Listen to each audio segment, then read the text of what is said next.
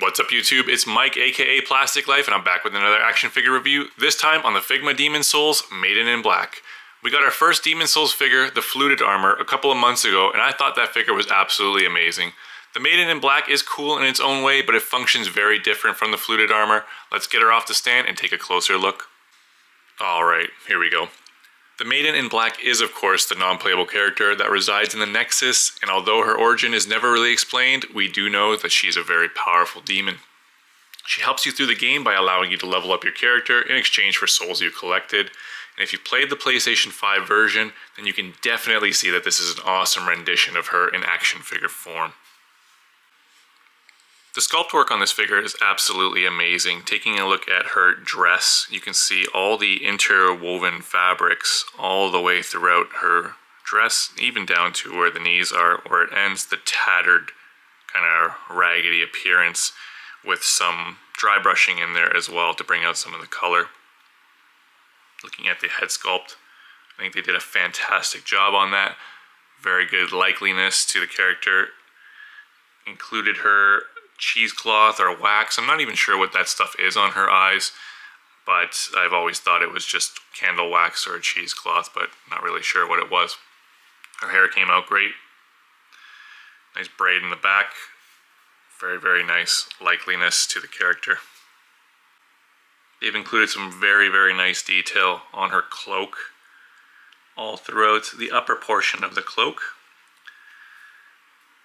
painted her brooch and necklace. The rest of the cloak is a non-wired fabric. So keep that in mind. Nice detail on the little belt all the way down. Matches the necklace. Very, very nice. Very great details included in this Figma figure. Alright, so I had an extremely unfortunate event just happen. I had knocked my tripod into my diorama, resulting in the figure falling off the table and landing directly on the neck and shattering the neck peg. Yeah, that really, really sucks. So I was able to remove the neck peg with a drill bit and I'm going to use a donor neck peg from another Figma figure.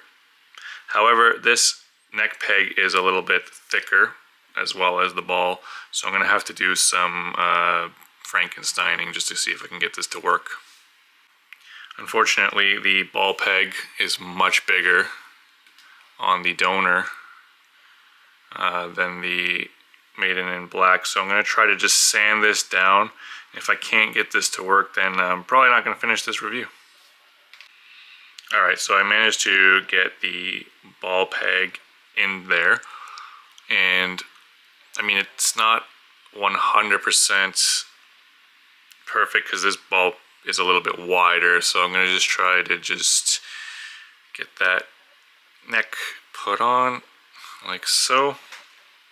And there we go. I think that works. Uh, only issue is I think we're going to be limited in the downward motion of the neck, but at least we got the head back on and I can still enjoy this figure to some extent.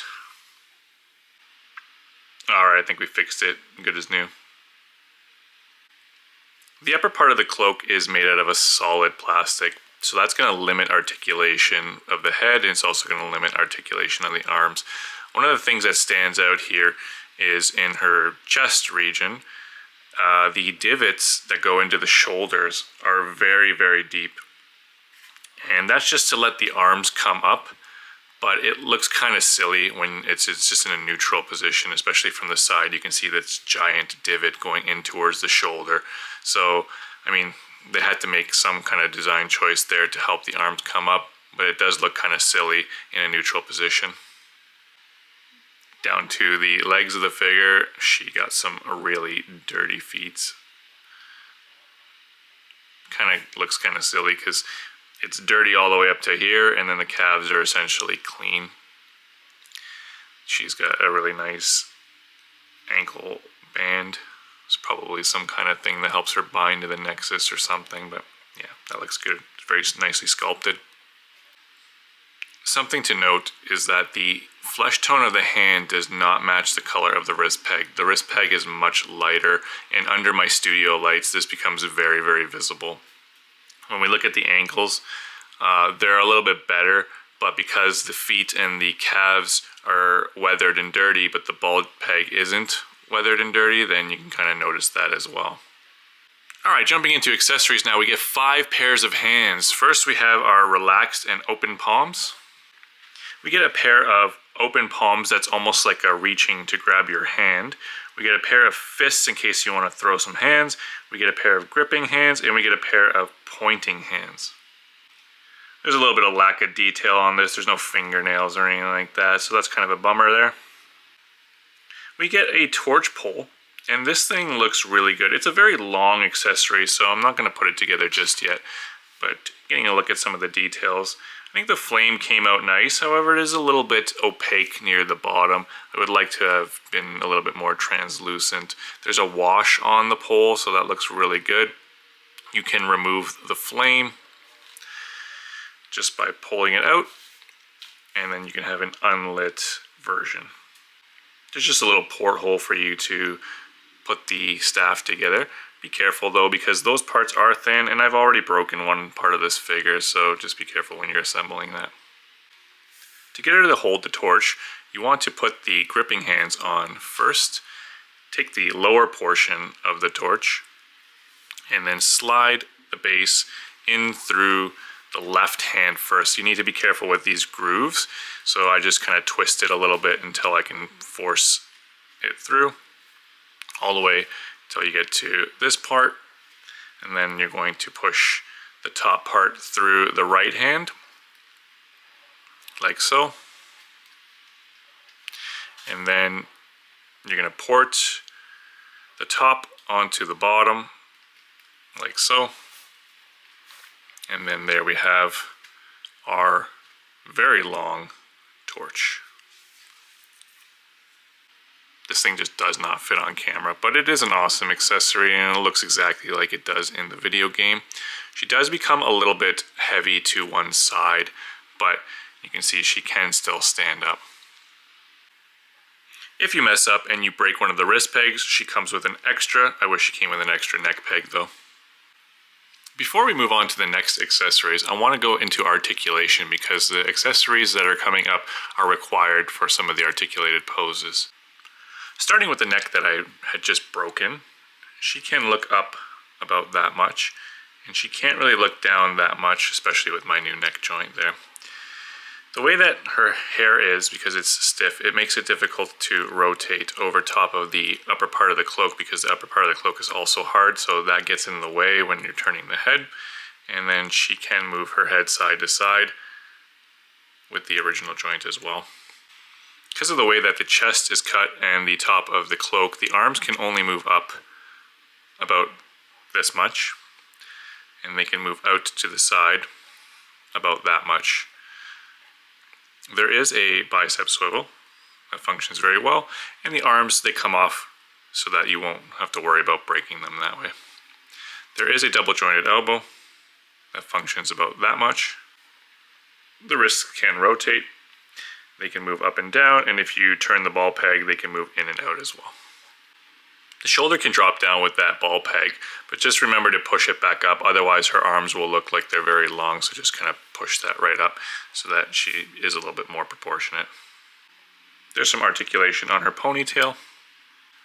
There is an upper and lower abdomen cut that's capable of producing about that much forward flexion and about that much extension.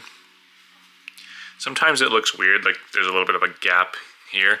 You just kind of have to adjust it accordingly to make it look like those are one piece. It can rotate side to side and it can bend side to side as well. When you do move the lower abdomen, just remember that when you turn, you're going to separate the belt. So if you're taking photos or if you're trying to pose it up, that's not going to look good because they're not aligned properly. Now the lower body is where we see a totally different system for articulation.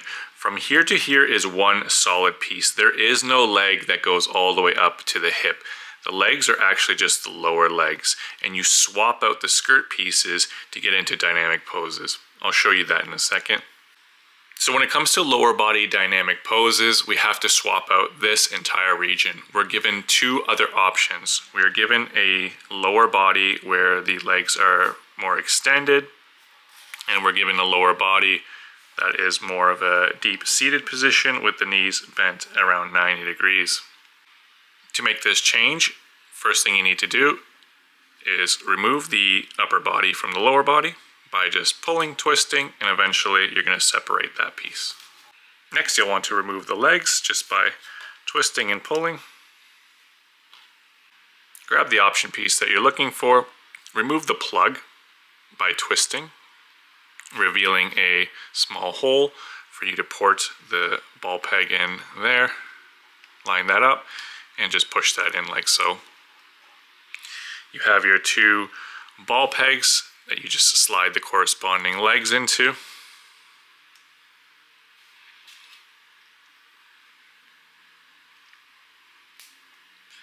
There we go. And then you can have your maiden in black in a seated position. You can do the same for the other option, get her into a more of a deep seated position. So now I know this system may deter some of you from purchasing this figure, but I do think it is the best option given the character's design and how this dress is in the video game. It's a very long and form-fitting dress. It's very difficult to create this in figure form without, you know, being sheer material and being springy enough where you can pose the legs without them coming back in because of the elasticity of the dress. So I do think that this is the best option. We don't really see the maiden in black in the video game in very dynamic poses. Most of the time you see her, she's kind of just in the nexus, chilling on the staircase, or she's in a standing upright position, or she's, you know, reaching for your hand, or so on. So we don't really see much in terms of dynamic poses. So I think this fits perfectly for figure form, and I'm pretty happy with the way that this came out. The final accessory is the typical Figma display stand. It just ports into a hole right in the back of her cloak there. You just have to move the ponytail out of the way and then she can stand up with no issues. You can even have her holding her torch as well and it will be balanced. All right, and I think this is what everybody wants to see, but how does she stand up next to the fluted armor, which is a previous figure from Figma from the Demon's Souls line. And I think this looks fantastic. The whole reason why I purchased the Maiden in Black is to go with this figure and this is absolutely amazing that we get Demon's Souls figures, characters actually from the game. And yeah, I can have a lot of fun posing these two together. If you want to mix and match your video games, here she is next to a Figma Link. Next to a Mythic Legion's Valiant Knight. Next to a Mezco Conan with a Barbarian booster kit and next to a Kulu World skeleton. Okay, so what do I think about the Maiden in Black? I have to say that I'm pretty happy with it. Even though the lower body's in fixed positions, I'm happy that they are really easy to swap out. However, I would have loved to see some more of these lower body swappable parts, perhaps maybe a kneeling position or a crouching pose.